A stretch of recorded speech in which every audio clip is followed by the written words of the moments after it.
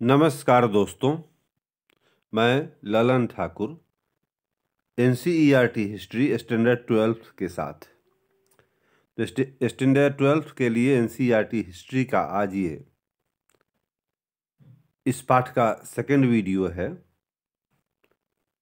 यात्रियों के नज़रिए से इस देश में बहुत सारे यात्री आए और उन यात्रियों ने जो अपना लेखन प्रस्तुत किया वृत्तांत सुनाया। उन वृत्तांतों के आधार पर भी इस देश को, भारत को समझने में बहुत सहायता मिलती है। तो उसके अंतर्गत आज इस वीडियो में हम लोग देखेंगे कि फ्रांसवा बर्नियर फ्रांसवा बर्नियर नाम का एक यात्री हिंदुस्तान आया तो उसने किस रूप में इस देश को पाया? तो प्रस्तुत है आपकी सेवा में। फ्रांसवा बर्नियर था क्या? तो वह एक विशिष्ट चिकित्सक था। कौन था? Francois Bernier. नाम क्या, नाम था उसका? Francois Bernier. पेशे से वह एक चिकित्सक था। लगभग 1500 ईस्वी में भारत में पुर्तगालियों के आगमन के पश्चात उनमें से कई लोगों ने भारतीय सामाजिक रीति रिवाजों तथा धार्मिक प्रथाओं के विषय में विस्तृत वृत्तांत लिखे। उनमें से कुछ चुनिंदा लोगों, जैसे जेसुइट रॉबर्टो नोबेली, ने तो भारतीय ग्रंथों को यूरोपीय भाषाओं में अनुवादित भी किया। सबसे प्रसिद्ध यूरोपीय लेखकों में एक नाम दुआरते बरबौसा का है, जिसने दक्षिण भारत में व्यापार और समाज का एक विस्तृत विवरण लिखा। कालांतर में 1600 ईस्वी के बाद भारत में आने वाले डच, अंग्रेज़ तथा फ्रांसीसी यात्रियों की संख्या बढ़ने लगी थी। इनमें एक प्रसिद्ध नाम फ्रांसीसी जौहरी, जो बैप्टिस्ट बैप्टिस्ट टैवर्नियर का था। टैवर्नियर का था जिसने कम से कम छह बार भारत की यात्रा की। वह विशेष रूप से भारत की व्यापारिक स्थितियों से बहुत प्रभावित था और उसने भारत की तुलना ईरान और ऑटोमन साम्राज्य से की। इनमें से कई यात्री जैसे इतालवी चिकित्सक मनु की कभी भी यूरोप वापस नहीं गए और भारत में ही बस गए। फ्रांस का रहने वाला फ्रांसवा बर्नियर एक चिकित्सक, राजनीतिक, दार्शनिक तथा एक इतिहासकार भी था। कई और लोगों की तरह ही वह मुगल साम्राज्य में अवसरों की तलाश में आया था। वह सोलह से सोलह तक भारत में 12 वर्ष तक रहा और मुगल दरबार से नज़दीकी रूप से जुड़ा रहा। पहले सम्राट शाहजहां के ज्येष्ठ पुत्र शिकोह के चिकित्सक के रूप में और बाद में मुगल दरबार के एक आर्मीनियाई अमीर दानिशमंद खान के साथ एक बुद्धिजीवी तथा वैज्ञानिक के रूप में। पूर्व और पश्चिम की तुलना। बर्नियर ने देश के कई भागों की यात्रा की और जो देखा उसके विषय में विवरण लिखे, वह सामान्यतः भारत में जो देखता था उसकी तुलना यूरोपीय स्थिति से करता था। उसने अपनी अपनी प्रमुख प्रमुख कृति को फ्रांस के शासक लुई चौदहवें को समर्पित किया और उसके कई अन्य कार्य प्रभावशाली अधिकारियों और मंत्रियों को पत्रों के रूप में लिखे गए थे। लगभग प्रत्येक दृष्टांत में बर्नियर ने भारत की स्थिति को यूरोप में हुए विकास की तुलना में दयनीय बताया। जैसा कि हम देखेंगे, उसका आकलन हमेशा सटीक नहीं था। फिर भी जब उसके कार्य प्रकाशित हुए तो बर्नियर के वृत्तांत अत्यधिक प्रसिद्ध हुए।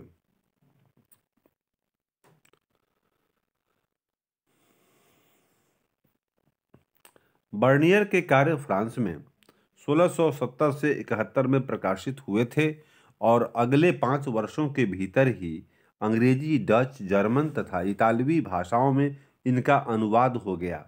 1670 और 1725 के बीच उसका वृतांत फ्रांसीसी में आठ बार पुनर्मुद्रित हो चुका था और सोलह तक यह तीन बार अंग्रेज़ी में पुनर्मुद्रित हुआ था।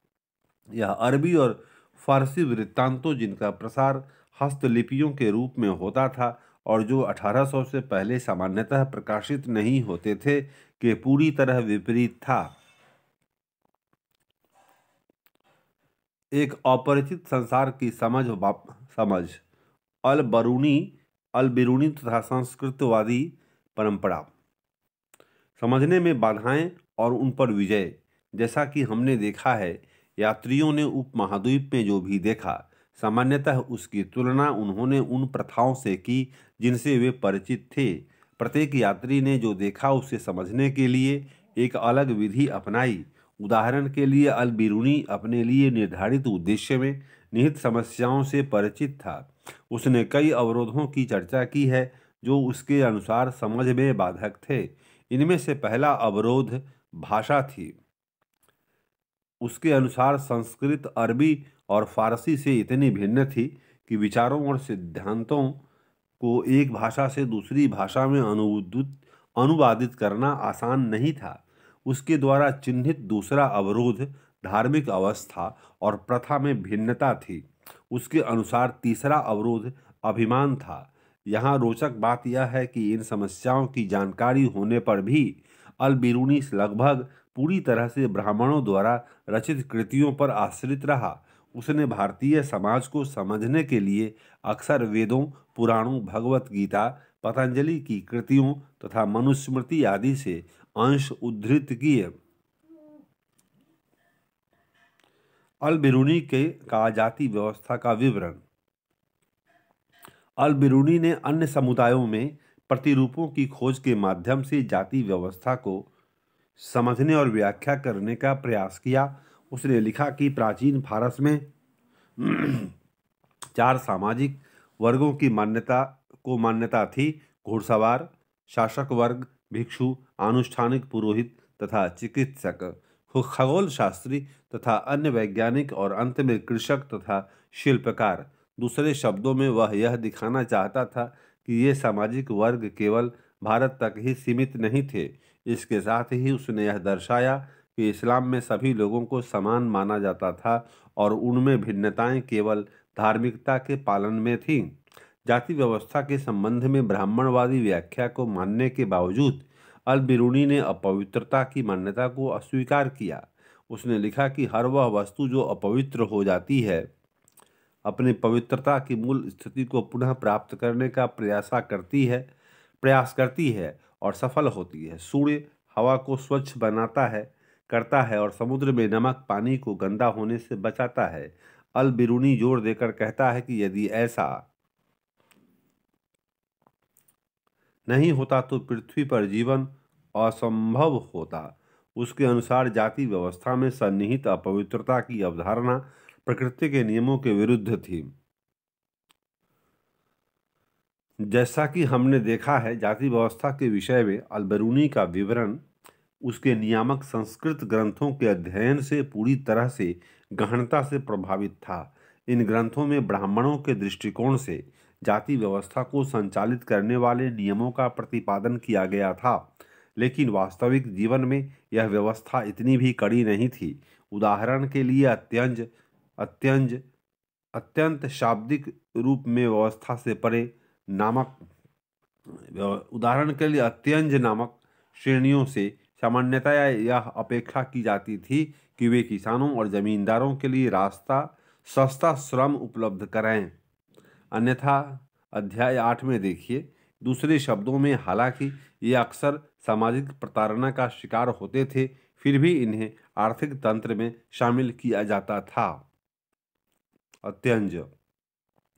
इब्न बतूता तथा अनजाने को जानने की उत्कंठा।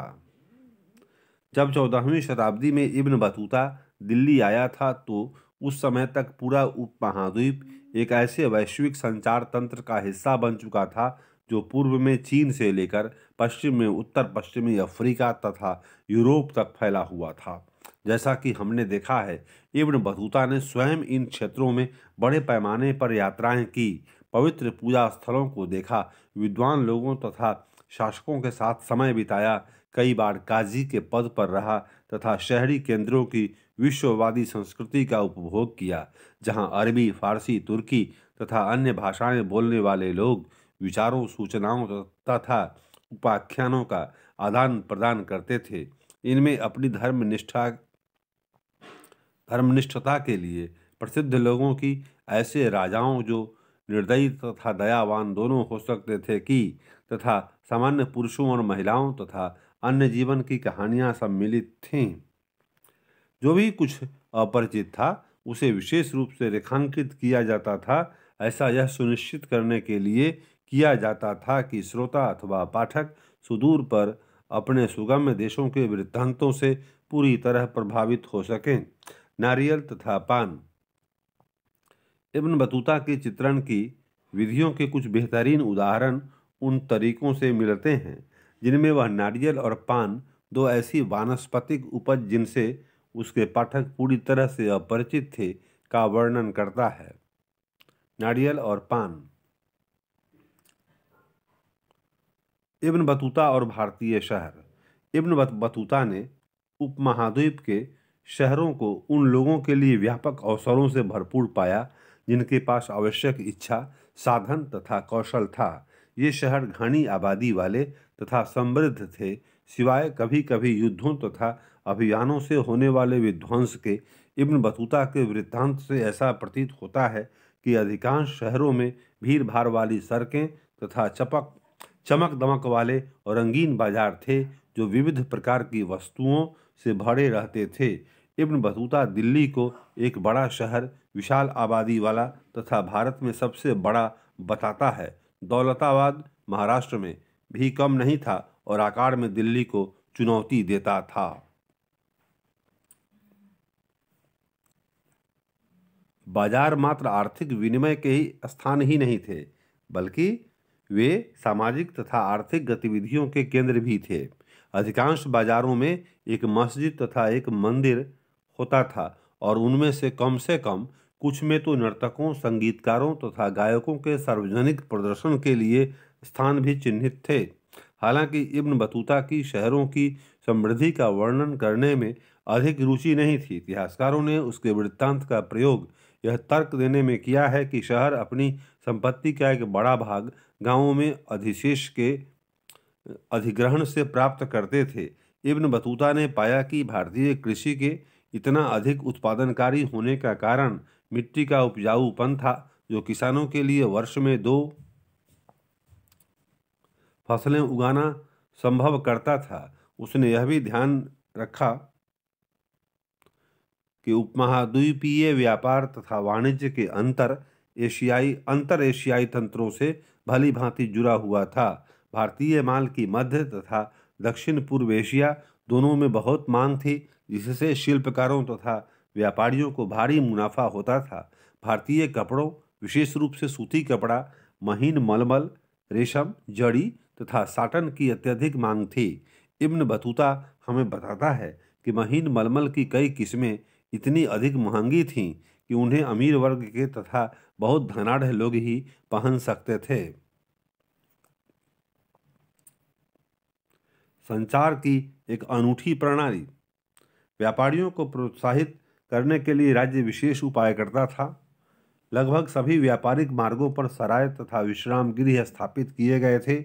इब्न बतूता एक डाक प्रणाली की कार्यकुशलता देखकर चकित हुआ। डाक डाक प्रणाली postage system post and telegraph कार्यकुशलता देखकर चकित हुआ। इससे व्यापारियों के लिए न केवल लंबी दूरी तक सूचना भेजना और उधार प्रेषित करना संभव हुआ, बल्कि अल्प सूचना पर माल भेजना भी। डाक प्रणाली इतनी कुशल थी कि जहाँ सिंध से दिल्ली की यात्रा में पचास दिन लगते थे, वहीं गुप्तचरों की खबरें सुल्तान तक इस डाक व्यवस्था के माध्यम से मात्र पाँच दिनों में पहुँच जाती थीं।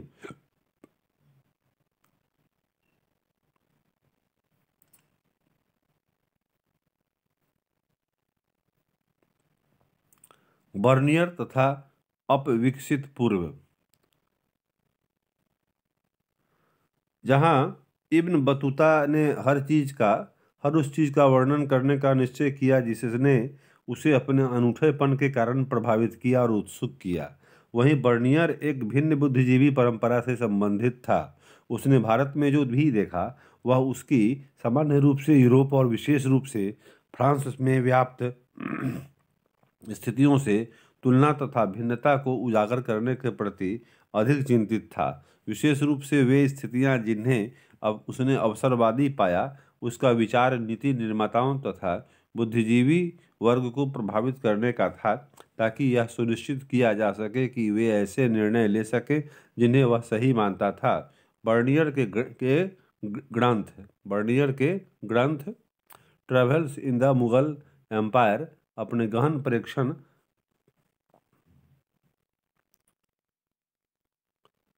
अपने गहन प्रेक्षण आलोचनात्मक अंतर्दृष्टि तथा गहन चिंतन के लिए उल्लेखनीय है। कौन किताब? ग्रंथ है, उसका नाम है travels in the Mughal empire, Bernier ने लिखा। उसके वृत्तांत में की गई चर्चाओं में मुगलों के इतिहास को एक प्रकार के वैश्विक ढांचे में स्थापित करने का प्रयास किया गया है। वह निरंतर मुगलकालीन भारत की तुलना तत्कालीन यूरोप से करता रहा सामान्यतया यूरोप की श्रेष्ठता को रेखांकित करते हुए उसका भारत का चित्रण द्विविपरीतता के नमूने पर आधारित है, जहाँ भारत को यूरोप के प्रतिलोम के रूप में दिखाया गया है। या फिर यूरोप का विपरीत जैसा कि कुछ इतिहासकार परिभाषित करते हैं, उसने जो भिन्नताएँ महसूस की, उन्हें भी पदानुक्रम के अनुसार क्रमबद्ध किया, जिससे भारत पश्चिमी दुनिया को निम्न कोटि का प्रतीत हो। ओ भूमि स्वामित्व का प्रश्न बर्नियर के अनुसार भारत और यूरोप के बीच मूल भिन्नताओं में से एक भारत में निजी स्वामित्व का अभाव था। उसका निजी स्वामित्व के गुणों में दृढ़ विश्वास था और उसने भूमि पर राजकीय स्वामित्व को राज्य तथा उसके निवासियों दोनों के लिए हानिकारक माना। उसे यह लगा कि मुगल साम्राज्य में सम्राट सारी भूमि का स्वामी था, जो इसे अपने अमीरों के बीच बांटता था। और इसके अर्थव्यवस्था और समाज के लिए अनर्थकारी परिणाम होते थे। इस प्रकार का अवबोधन बर्नियर तक ही सीमित नहीं था, बल्कि सोलहवीं तथा सत्रहवीं शताब्दी के अधिकांश यात्रियों के वृत्तांतों में मिलता है। राजकीय भूस्वामित्व के कारण बर्नियर तर्क देता है। भूधारक अपने बच्चों को भूमि नहीं दे सकते थे, इसलिए वे उत्पादन के स्तर को बनाए रखने और उसमें बढ़ोतरी के लिए दूरगामी निवेश के प्रति उदासीन थे। इस प्रकार निजी स्वामित्व के अभाव ने अभाव ने बेहतर भूमि भूधारकों के वर्ग के उदय जैसा कि पश्चिमी यूरोप में कोरो का, जो भूमि के रख रखाव व बेहतरी के प्रति सजग रहते, इसी के चलते कृषि का समान रूप से विनाश, किसानों का असीम उत्पीड़न तथा समाज के सभी वर्गों के जीवन स्तर में अनवरत पतन की स्थिति उत्पन्न हुई, सिवाय शासक वर्ग के। इसी के विस्तार के रूप में बर्नियर भारतीय समाज को दरिद्र लोगों के समरूप जनसमूह से बना वर्णित करता है, जो एक बहुत अमीर तथा शक्तिशाली शासक वर्ग, जो अल्पसंख्यक होते हैं के द्वारा अधीन बनाया जाता है। गरीबों में सबसे गरीब तथा अमीरों में सबसे अमीर व्यक्ति के बीच नाम मात्र को भी कोई सामाजिक समूह या वर्ग नहीं था। बर्नियर बहुत विश्वास से कहता है, भारत में मध्य की स्थिति के लोग नहीं हैं। या तो अमीर हैं या गरीब हैं। तो बर्नियर ने मुगल साम्राज्य को इस रूप में देखा, इसका राजा भिखारियों और क्रूर लोगों का राजा था। भिखारियों और क्रूर लोगों का राजा था। इसके शहर और नगर विनष्ट तथा खराब हवा से दूषित थे और इसके खेत झाड़ीदार तथा घातक दलदल से भरे हुए थे। और इसका एकमात्र एक ही कारण था राजकीय भूस्वामित्व। आश्चर्य की बात यह है कि एक भी सरकारी मुगल दस्तावेज़ यह इंगित नहीं करता कि राज्य ही भूमि का एकमात्र स्वामी था। उदाहरण के लिए सोलहवीं शताब्दी में अकबर के काल का सरकारी इतिहासकार अबुल फजल अबुल फजल भूमि राजस्व को राजत्व का पारिश्रमिक बताता है, जो राजा द्वारा अपनी प्रजा को सुरक्षा प्रदान करने के बदले की गई मांग प्रतीत होती है, न कि अपने स्वामित्व वाली भूमि पर लगान। ऐसा संभव है कि यूरोपीय यात्री ऐसी मांगों को लगान मानते थे, क्योंकि भूमि राजस्व की मांग अक्सर अब बहुत अधिक होती थी। लेकिन असल में यह न तो लगान था, न ही भूमि कर, बल्कि उपज पर लगने वाला कर था। अधिक जानकारी के लिए अध्याय आठ देखिए। बर्नियर के विवरणों ने अठारहवीं शताब्दी से पश्चिमी विचारकों को प्रभावित किया।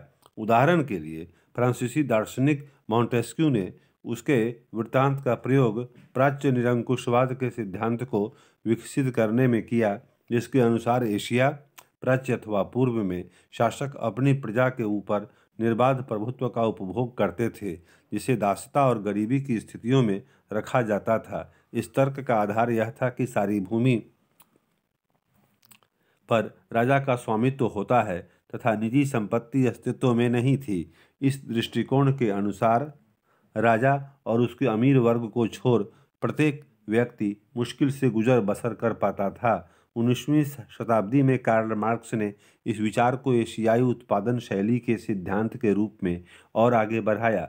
उसने तर्क दिया कि भारत में उपनिवेशवाद से पहले अधिशेष का अधिग्रहण राज्य द्वारा होता था। इससे एक ऐसी समाज का उद्भव हुआ जो बड़ी संख्या में स्वायत्त तथा आंतरिक रूप से समतावादी ग्रामीण समुदायों से बना था। इन ग्रामीण समुदायों पर राजकीय दरबार का नियंत्रण होता था और जब तक अधिशेष की आपूर्ति निर्विघ्न रूप से जारी रहती थी, इनकी स्वायत्तता का सम्मान किया जाता था। यह एक निष्क्रिय प्रणाली मानी जाती थी।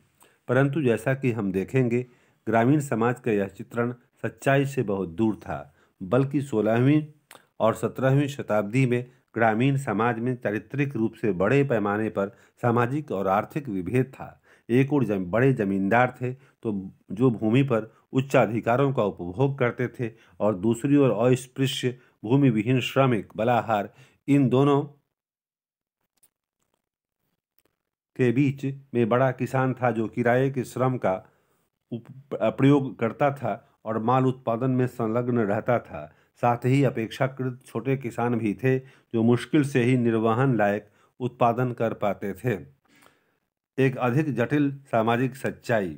हालाँकि मुगल राज्य को निरंकुश रूप देने की तन्मयता स्पष्ट है, लेकिन उसके विवरण कभी कभी एक अधिक जटिल सामाजिक सच्चाई की ओर इशारा करते हैं। तो मेरे दोस्तों, एक अधिक जटिल सच सामाजिक सच्चाई से हम लोग इसके बाद के वीडियो में देखेंगे। तब तक के लिए धन्यवाद।